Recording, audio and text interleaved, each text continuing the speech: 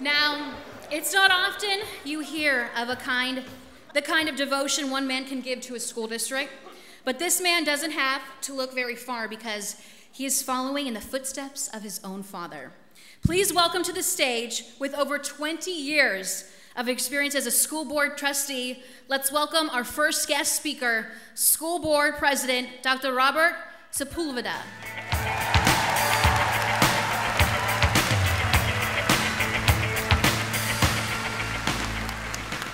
Good morning.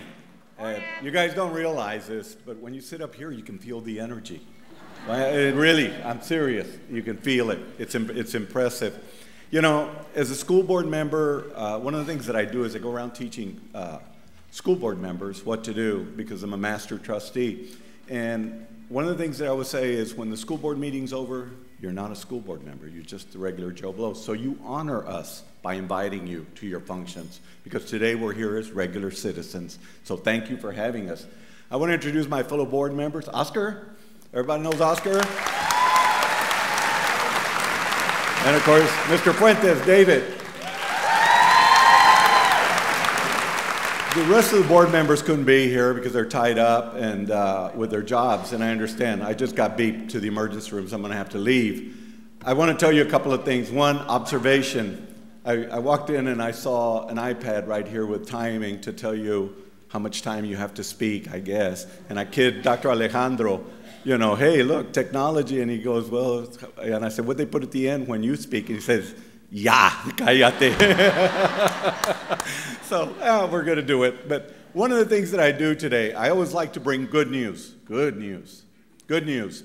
The board always sets goals. And before we set goals, we set philosophies.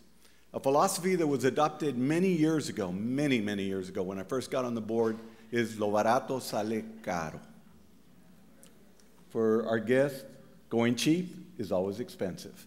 Okay, so I'm going to tell you right now teachers, you're getting a $1,600 pay raise this year.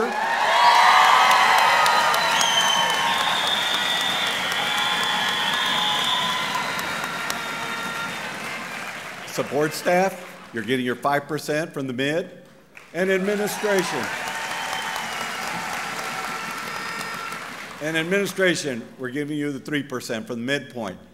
What is important about this?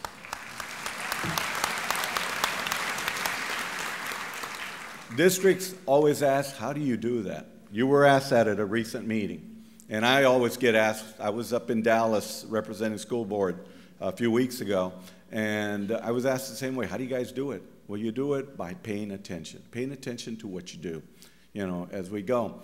And, you know, this morning I was watching as everyone walked in here, and I gave a lecture when I was in Dallas, and I realized that, you know, it's true. The Rio Grande Valley is 91% Hispanic pretty amazing. It re it's reflected in here. And, you know, like I told my wife, my wife is German. I said, and you guys are probably more Mexican than us, the Anglos, because you eat our food better than us, right? so I tell them, you know, that reminds me of a story. You always have to have a funny story when you speak. And I have a story. There's a story about three guys out on a boat, and the boat started taking on water. Well, of course, the, the guys on the boat have to be appropriately divided ethnically. We had an Anglo guy, an Afro American, and a Hispanic. And the Anglo guy looked over and he saw an island about a mile away. He says, Man, I grew up privileged. I had a swimming pool. I know how to swim. I competed in swimming. I'm jumping. I'm not drowning out here. He jumped in the water, beautiful form, started racing towards the island. And before you know it, some sharks came up and they ate him up. So the Afro American guy looks at the Hispanic guy and he goes, You know, I barely know how to swim, but I'm a good athlete. I think I can make it. Maybe the sharks are full. I... or maybe they just don't like Afro Americans, right? So he says, I'm going to give it a shot because I don't want to die out here. So he jumps in the water and he starts fighting the water, but he's moving. He's moving towards the island. And he gets further along, and the sharks just look at him. And he keeps getting closer. They look at him, and all of a sudden they just smile and take off, and they eat him up too. so the Mexican American guy is sitting there going, Hijo, I barely know how to swim. Cada cuando me baño. You know? He says, uh, What do I do? And he says, Well, maybe they are full by now. I've got no other shot. So he starts dog paddling towards the island. Keeps going and going and going, and the sharks just look at him, and he keeps going and going. And when he's within 100 yards of the island, the sharks smile and said, Let's go. They take off after him, and he starts kicking and he starts moving, but he's barely moving, and the sharks are coming. And all of a sudden, the lead shark stops, and the rest of the sharks stop. And they go, What's the matter? And he goes, No, the last time I had one of those guys, my rear burned for a day.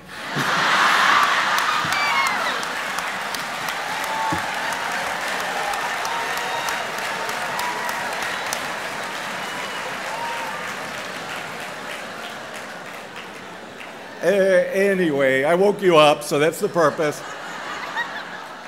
what I do want to say is something that's real important. You know, I have a friend of mine who's really, I consider a genius. He's a physician. And when we were young and first came to Weslaco, he did a social experiment. We don't like to do experiment on people, but we did in the hallway in the hospital because I'm going to prove a point to you. And he says, watch. And we were discussing about attitude.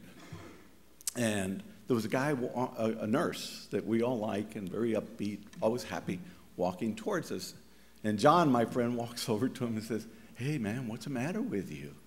You don't look right. And you can see the guy's body language just, you know. So, what I'm trying to tell you is what we say every day, what we do every day makes a difference.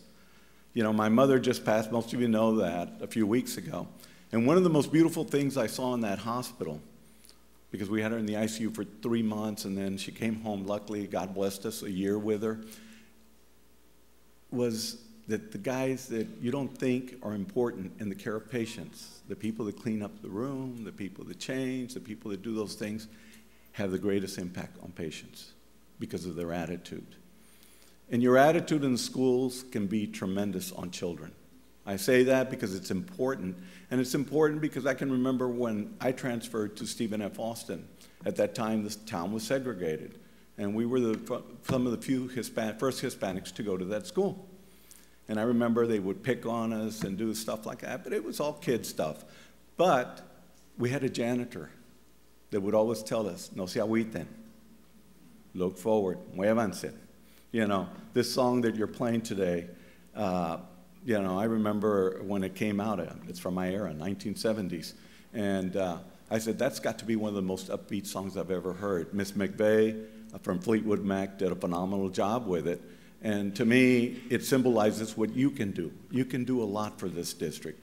Our, our role as board members is to provide a good working environment, and we believe in this. We are one of the best paying school districts from San Antonio South. Believe me, the data is there. You can look it up on the computers. We're proud of what we do. We want to provide you with the best facilities, et cetera. Takes a lot of work, and you know, every now and then, it isn't the board, it's the administration working together as a unit with the board. And I think that's very, very important as we move to the future. We have to do something for our children because the future is here. Guys, thank you. I got to go work, so thank you, and I'm going to turn you over to the program. And